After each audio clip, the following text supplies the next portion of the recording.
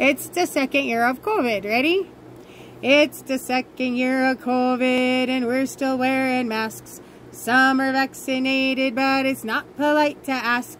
I even cover up my face when I'm pumping gas. It's the second year of COVID. Pandemic really lasts. Da da da oompa oompa oompa da da da oompa oompa oompa. It's the second year of COVID. Again, the shelves are bare.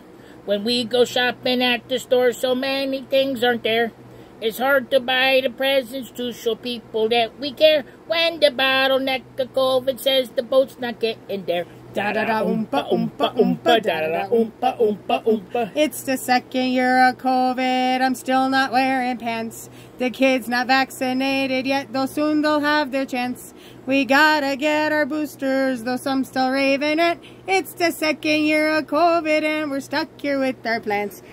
Oompa oompa oompa da da da oompa oompa oompa. Hey, thanks for watching, subscribing stuff. We love you guys.